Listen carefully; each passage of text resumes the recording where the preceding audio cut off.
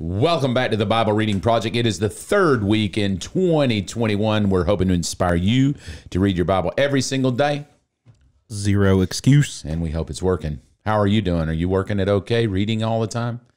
Can I say something real quickly? Okay. I feel like you're not as spiritual this week. What happened? Um, well, we talked to somebody and they said that we banter too much, so I'm trying to keep it very vanilla. Okay. Now I'm going to ask a couple of personal questions before we jump into the Psalms. Okay. So just personal. Will you answer honestly? Of course. Okay, first. Last week, we know you went to Washington, D.C. to be part of the radicalized patriots who were storming the Capitol. Yeah. Were you close to the Capitol? Um, kind of close. How kind of close? Like you were close, close. Yeah, I was on the steps. You were on the actual steps of the Capitol with radicalized patriots that were mm-hmm. storming the Capitol to take over the United States of America, and you're in the middle of it.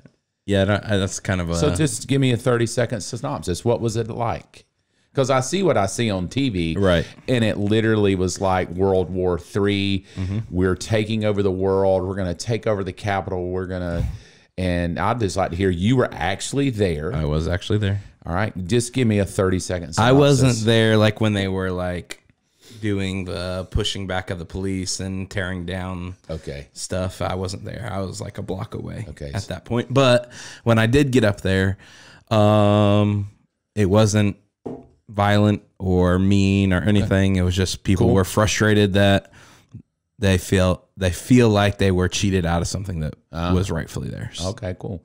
Fun? Did you enjoy it? Yeah, it was a lot of fun. Yeah. Kind of historical, I guess. Yeah. Like I don't, in all my years, don't remember when people have stormed the Capitol and sat in the speaker's office. you know? Yeah, right. But cool. Well, I'm glad you're back. I'm glad to be back. You were with two to three million people. You Mm-hmm. came back without corona or no? I don't have corona. Okay, good. So glad you're Yeah, we back were- safe.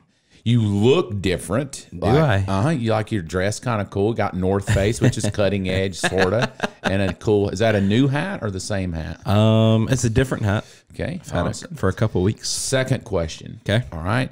Glad you're back, by the way, and safe. Thank you. Second question. We found out today that some people don't like our Bible reading project. Yeah. Because we banter back and forth too much. People close to your heart. And we're not my wife, actually. Now, so let's talk about my wife, who Yeah. I asked today at lunch. She doesn't even watch the Bible reading project because she says, "Nah, it's just too silly for me. Right. And so we decided maybe we could be more serious. Mm-hmm. And then we both were miserable and decided no, we were not going to be Yeah. serious. We are going to be us. Right. Because that's what you said. It's more authentically us. Yeah. So my wife never watches it. So somebody close to you, your mom, is your mom like it? I think she likes it. Okay. She watches it. You think you could call her and let's just see? Mm-hmm. Call her real quick. Okay. Because my wife says I I'm okay that you guys do it, but I don't watch it because it's silly to me. Y'all Mm-hmm. should just read the Bible. And then we're like, well, so this is mom. Let's just see if your mother likes it. Yeah. I'd like to hear her thought. Hello. Hey, mom. Hey, mom. Hey, hello. Hey. You hear? That's Pastor Mark. We're Happy New Year. Yeah, happy New Year to you too. um we're filming the Bible reading project right now. So say hello to everybody. Are you joking me? No, can I ask you a question?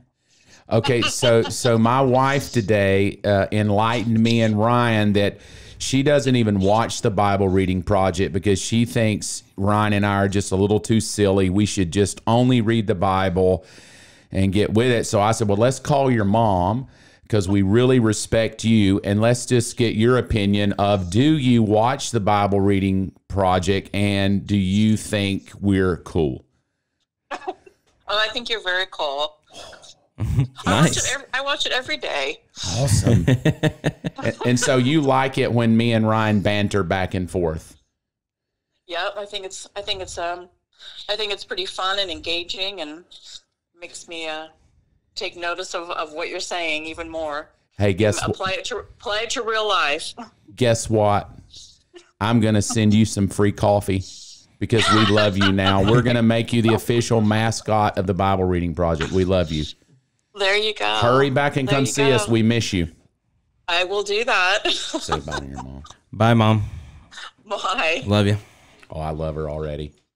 Me and your mom are like that now, right? Right. And it's so cool how Yeah. somebody just doesn't like us at all. Right. Somebody else says they love us. They so love us. shout out to you, mom. We love you. It's Monday. She loves you. Guess what? Psalm 11 is going to be a fun week this week. Can I sport me a hat too? I think you should. You got me one. I think you look cool. I'm gonna grab Yeah. mine. I'm gonna wear it all week. I'm I not a hat should. guy, but Right. but I love the fact that you thought about me. You got me a matching hat. you know why I did? Why? Because when it I came, okay? it looks great. Okay. You got to bend the bill a little. No, Okay. Mm, I like it. I like the hip look.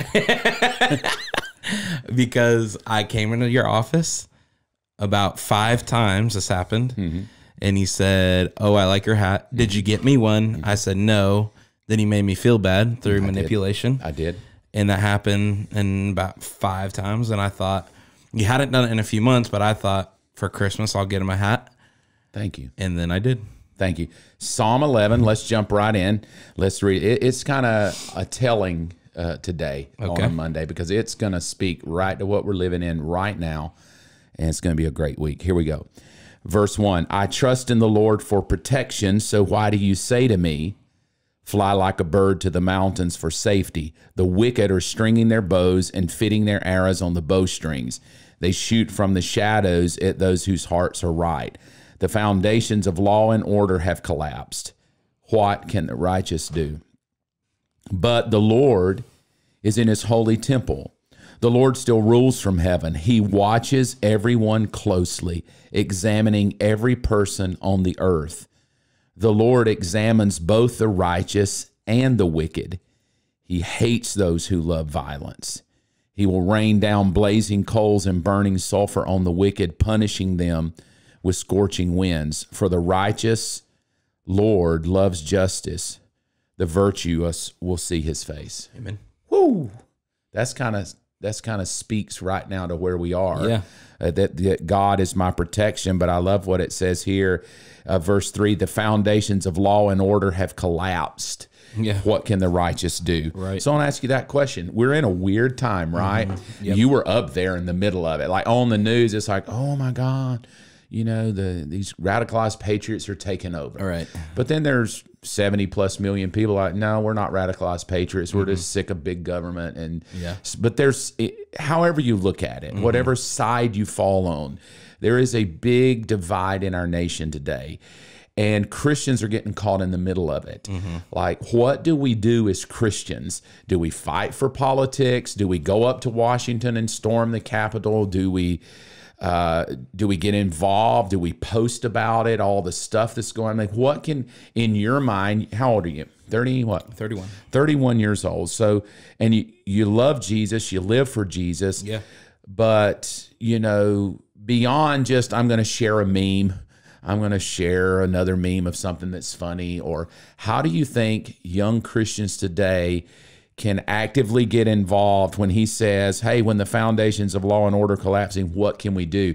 And if you watch the news right now, I mean, it just depends on where you land, mm-hmm, right? Mm-hmm. They're going to censor us, they're going to cut us off. They're, mm-hmm. You're not going to have Twitter and Instagram. What are we going to do? What is the church going to do? What if they shut us down? How do you answer that? What do you think young Christians can do today? Your generation can do to to live out the kingdom in a generation where wickedness and politics and censorship seemingly can run high. Yeah. How do how do you think you practically live it out? I think there's one of two ways. Either one, oh well, woe is me, and go hide and sit in a corner and pout, um, and just shut your mouth so that you don't get censored anymore, you don't get uh, slandered anymore, or you because I'll, I'm a Christian, so I need to, and I don't want to ruin the gospel for anybody, or um, you step up and you speak out more and you continue to do what God called you to do and lead the charge and move forward. And I know that the argument comes that, well, as a Christian, you're of the kingdom of God, you're not of the world, so you should have nothing to do with politics. But I think if that argument is true, then then Christians have no effect on culture because politics set the standard of culture. And so if you don't want to have any influence on culture, then yeah, don't don't be informed and Sure. don't in my that's my opinion, don't participate in any form of of politics and just well you you just kind of go with the wind at that point. Uh, and for me personally that that's just not where I, I don't see myself. So what how do you what is your personal action?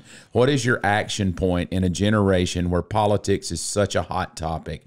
How do you as a spirit-filled believer how do you practically apply it into your life? What do you do practically to engage the conversations or to present your faith? Yeah, I think um, for me personally, um, I stay informed and I take in the information, I pray about it, and discern what is true and what's not.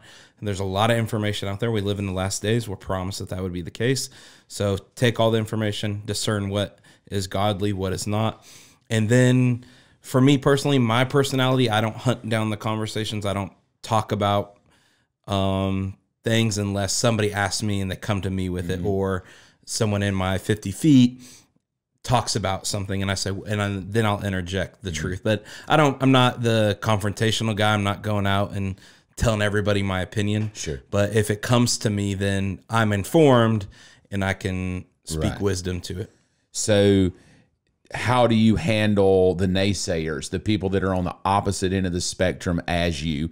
Do you enjoy those conversations? Do you like engaging people who believe differently than you about politics or Jesus? And how do you handle that? Yeah. So a good example is um, an older lady. Uh, her name is Miss Pam, and politically, totally the opposite. Um, we disagree on a lot of things, but she'll call me sometimes, say, mm-hmm. "Well, I respect you. You're smart. Mm-hmm. What do you think? What's going on? What do you think mm-hmm. about this?" And I'll tell her, and she's like, "I disagree." You know, she called me. Sure. oh, I totally disagree. But at the end of the day, what we settle on is we're both believers. So at the end of the day, we're both believers and we're both Americans. And we have that in common. And so what me and Miss Pam settled on is we can disagree, but uh, what we try to do is focus on what we have in common more, mm-hmm. and then the differences will just work themselves out. Sure. Yeah, where I land is that I'm, I'm comfortable in what I believe. Right. I don't mind telling people what I believe. Yeah. But I try to be a smart enough fella that I let other people believe what they want to believe. And I don't beat them over the head if they don't think Exactly. like I think or believe like I think. But I'm very comfortable in a room to tell somebody what I believe. Right. And and I feel in my heart that I can stand on it. And if they totally oppose or totally don't like it, I'm to I'm good. I, I'm not mad at anybody. I, and I, matter of fact, I like it when somebody passionately stands for what they believe. I agree. Even if it's wrong Yeah. in, my thinking or I'm wrong in their thinking. Right. I like to know if somebody believes it that passionately. Yeah. Uh, I like you to be able to back it up. Right. Not just, oh, yeah, you know, that kind of argument, Yeah. but really back it up with facts. And so, how what I've done politically, I love politics, I love being in the middle of it. But I also go to that not everybody may feel called to it, but you have to do your 50 feet. Mm-hmm. Some people feel called to get in the middle of it, and some people feel called not to. But whatever you do, you need to be owning your 50 feet for Jesus, right? You need to be willing to engage your 50 feet. And if that's have political conversations or relational conversations, whatever those would be, even sports, whatever it would be. So I kind of land on just own your 50 feet for Christ. Right.